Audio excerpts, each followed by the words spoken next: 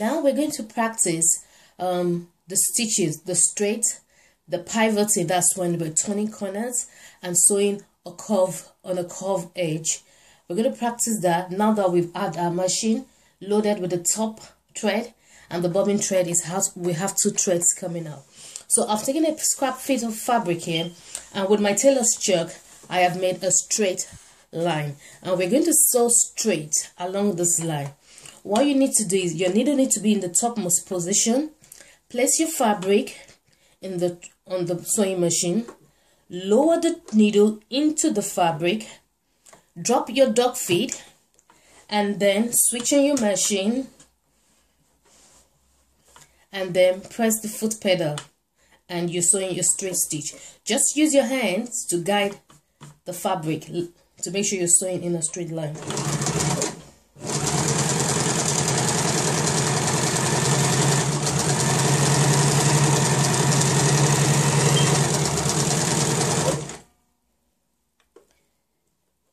And when I finish sewing, I make sure the needle is in topmost position. I lift up the dog feed. I pull out my fabric and I snip it off snip up the thread there we have the straight stitch sewed okay now we're going to try and sew and turn uh, that is pivot. So we take another scrap piece of fabric. I've used the tailor's chalk to draw straight line and I've made corners wherein we are going to turn the fabric.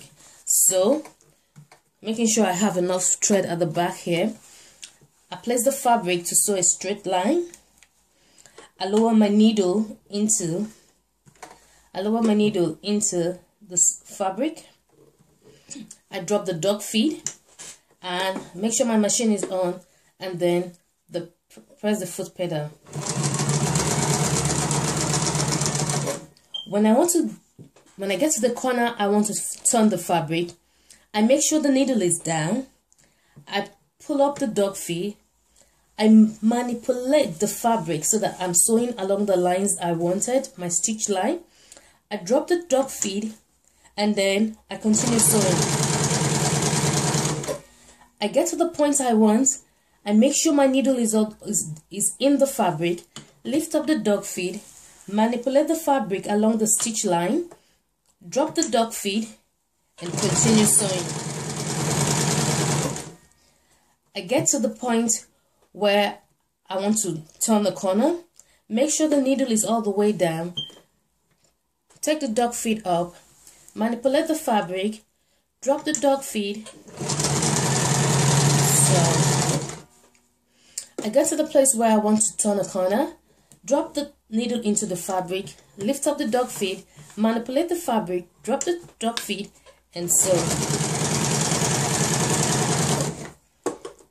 and when I finish and I get to the end of the fabric I make sure the needle is up this time take the dog feed off and just pull my fabric and when I've pulled my fabric I snip off the thread towards the fabric so that I have a long tail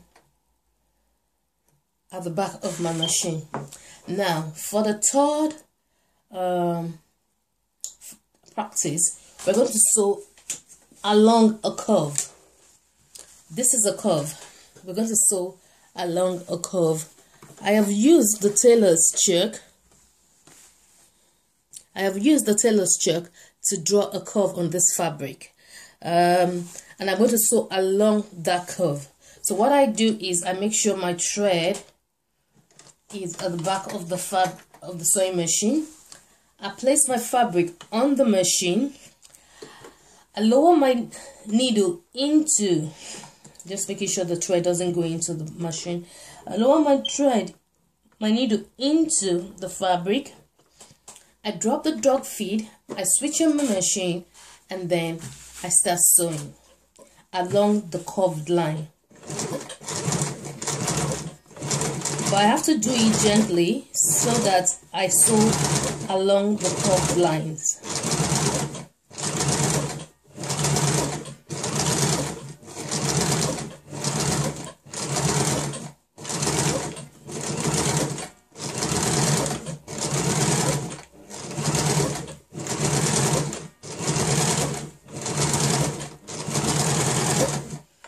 When I get to the end of my stitches I make sure the needle is all the way up by turning the wheel balance lift up the dog feet and pull out my fabric and then snip off the thread attaching. And as you can see um as you can see we have the straight stitches done.